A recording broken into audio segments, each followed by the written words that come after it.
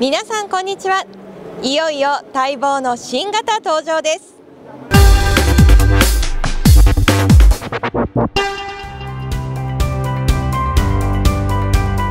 日産リーフは世界初の量産型電気自動車として2010年に登場以来これまでグローバルに40万台以上が販売されました。この度7年ぶりに生まれ変わり報道陣にその姿が公開されました。新型日産リーフは高速道路での同一車線自動運転技術プロパイロットのほか自動駐車システムプロパイロットパーキングアクセルペダルの操作だけで発進加減速停止停止保持までドライバーが意のままにコントロールできる e ペダルなど数多くの先進技術を搭載。さらに出力と航続距離も向上しデザインもより洗練されました。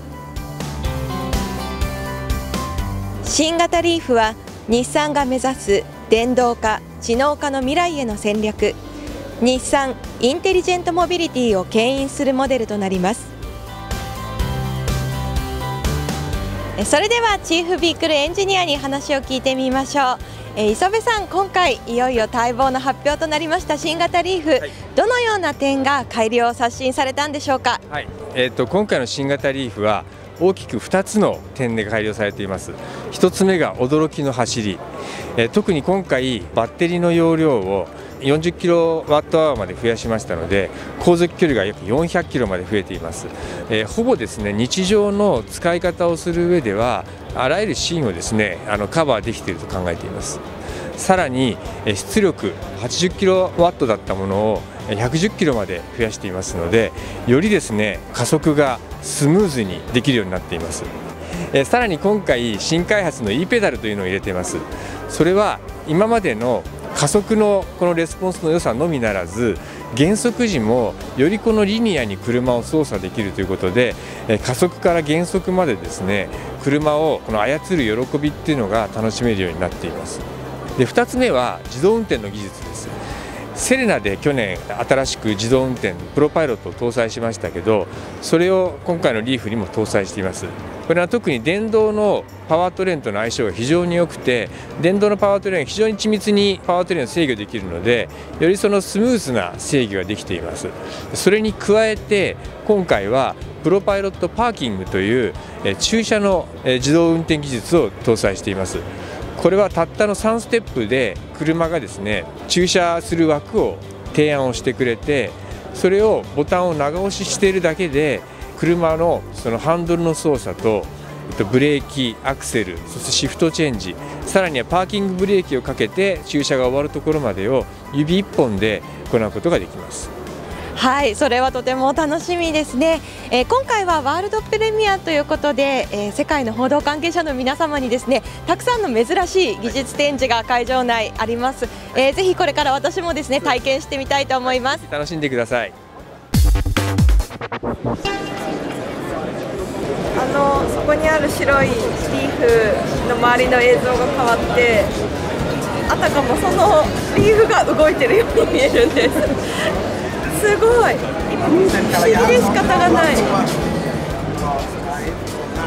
はい、ここはあの e ペダルのデモになります。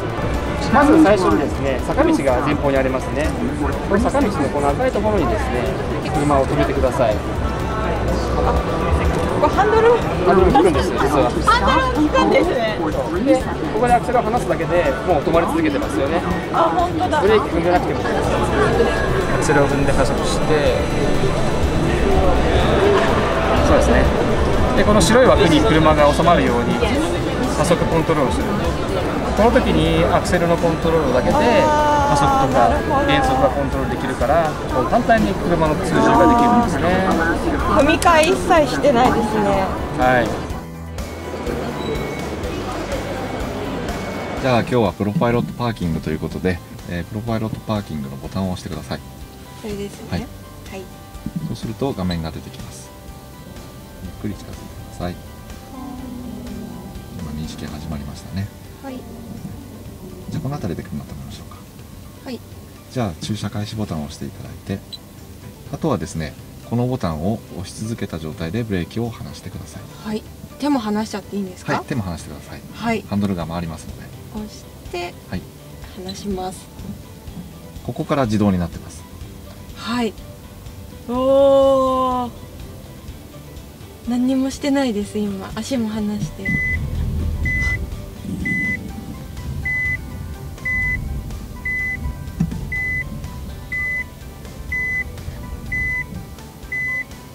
終了します。はいこれで終了です。もう手を離していただいて結構です、本当に何もしないでこのボタンを押すだけでいいんですね。はいそうですえー磯部さん、今ですね、さまざまな展示見てきたんですけれども、えー今回の新型リーフ開発する上ではどのような点苦労があったんでしょうか？はい